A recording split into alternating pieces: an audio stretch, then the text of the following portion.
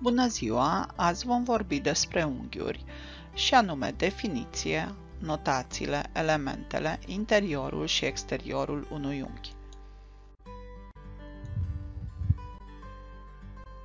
Mă numesc Peregrini Lilla și resursa pe care o prezint este la disciplina matematică, clasa 5-a, noțiuni introductive despre unghi.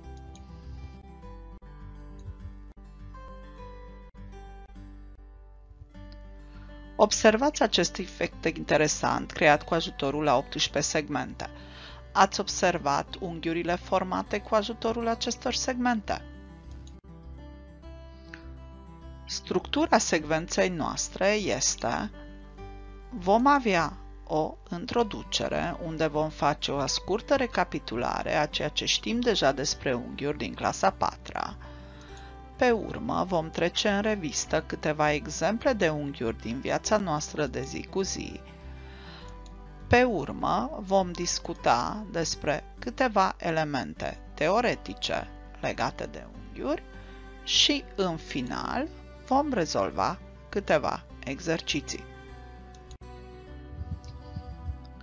Pentru început, vă rog să faceți cunoștință cu angle, care ne cere ajutorul, trebuie să-l reconstruim pe fratele lui.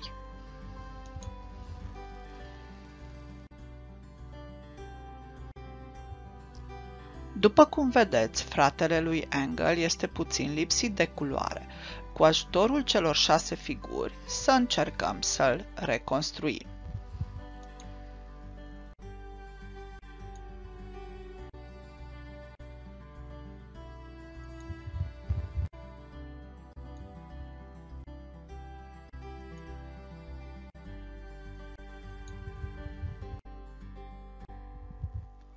Am reușit, Engel este încântat și foarte mulțumit de munca noastră.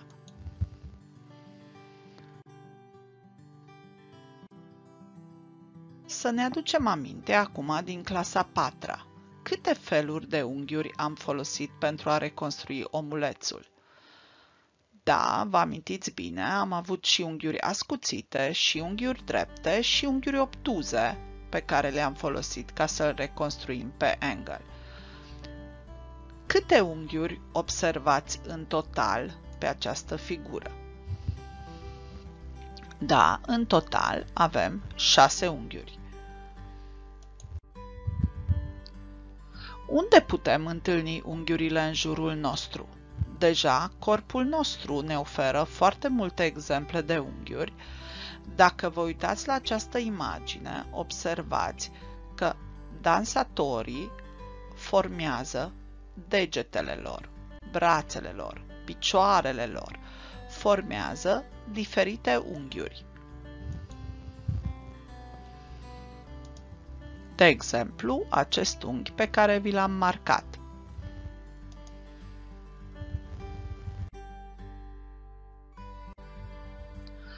Un alt exemplu este arhitectura. Deja în antichitate, când s-au construit piramidele, s-a utilizat geometria. Observați unghiurile care apar pe fețele acestor piramide.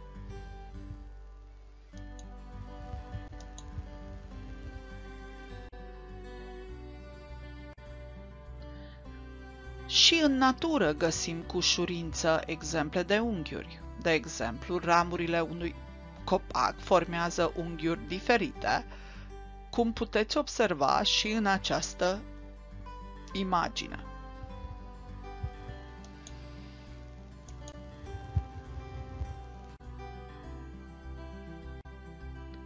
Dar este suficient să luăm o hartă în mână și deja și pe o hartă vom descoperi un număr foarte mare de unghiuri.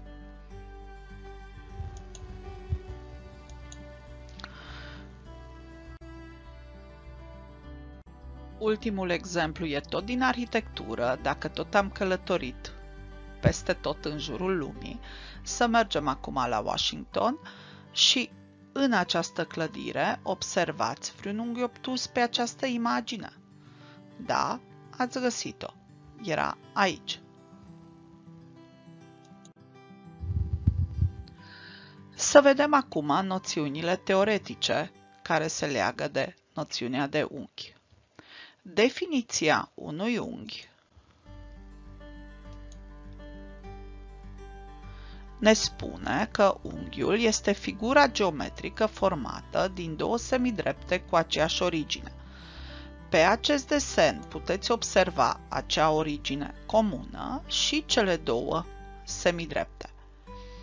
Elementele unui unghi sunt exact vârful unghiului, deci punctul acesta O, și cele două semidrepte care se numesc laturile unghiului. Cum se poate nota un unghi, ce denumire poate avea acest unghi pe care îl vedeți pe acest desen? Avem destul de multe variante. Putem să-i zicem unghiul B-O-A sau unghiul A-O-B sau putem să-i zicem pur și simplu unghiul O sau putem să-i zicem unghiul S-O-T. Indiferent care denumire o folosim, este foarte important dacă folosim trei litere, originea unghiului trebuie să fie în mijloc și celelalte două puncte trebuie să fie pe o latură, respectiv pe cealaltă a unghiului. Așa obținem denumirea corectă a unui unghi.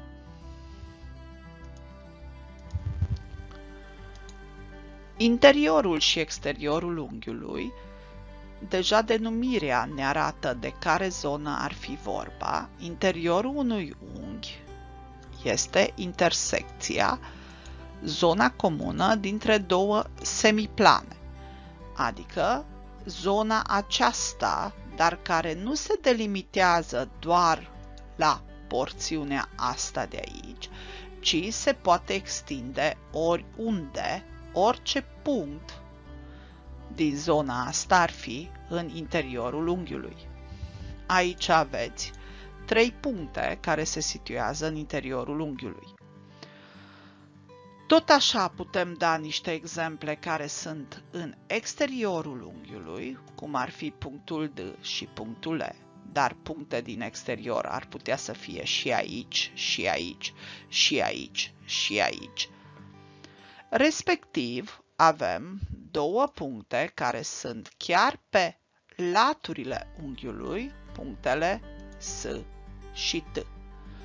Deci putem să spunem că ele aparțin unghiului.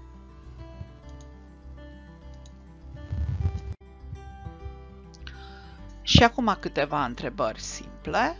Dacă vă uitați la această figură de pe acest desen, spuneți-mi punctul A unde se află, în interiorul sau exteriorul unghiului. Aveți dreptate, punctul A, într-adevăr, se situează în interiorul acestui unghi. Se vede foarte clar pe desen.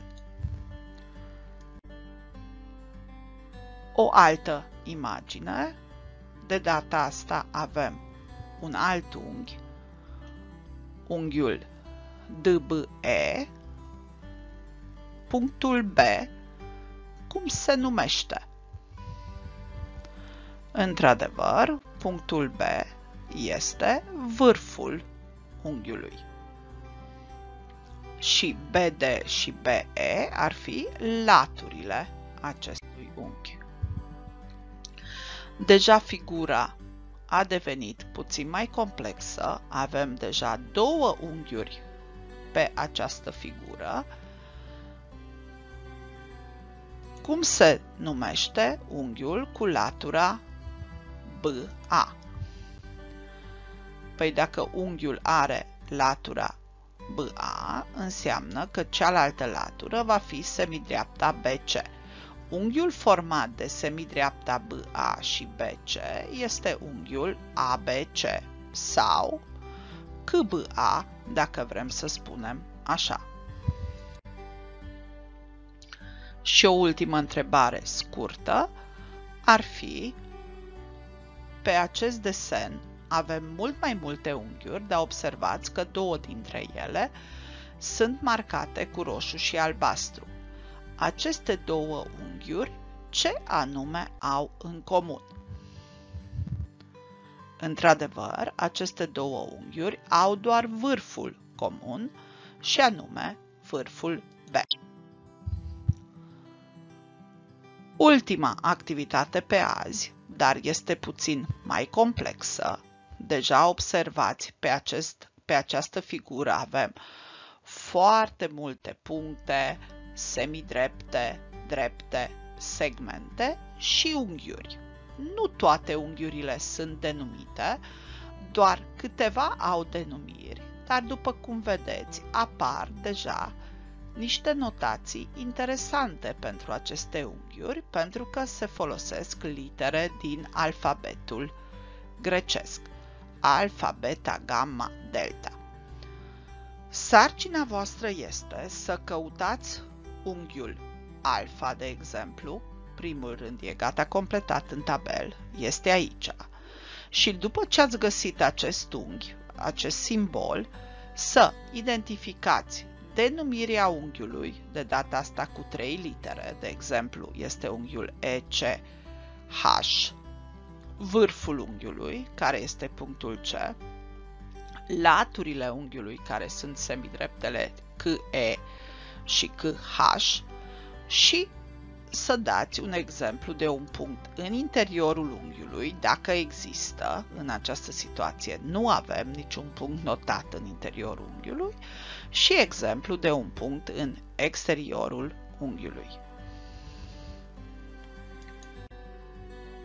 Aici avem deja gata completat tabelul.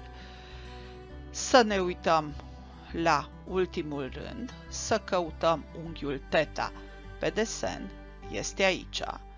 După ce l-am găsit, denumirea pentru acest unghi ar putea să fie EIC sau CIE, îi tot una, unde I este vârful unghiului, laturile sunt semidreptele IE și IC, un punct în interiorul acestui unghi, deoarece unghiul este acesta punctul A este în interior și punctul H, de exemplu, este în exteriorul unghiului. Ca și temă, o să vă rog să-l copiați pe angle și să denumiți trei unghiuri și pentru fiecare dintre aceste unghiuri să precizați vârful unghiului și laturile unghiului. Respectiv, un alt exemplu din viața de zi cu zi, unde întâlnim unghiurile, este un ceas, un ceas analog, nu un ceas digital. Să reproduceți acest desen în caietul vostru și să denumiți vârful acestui unghi.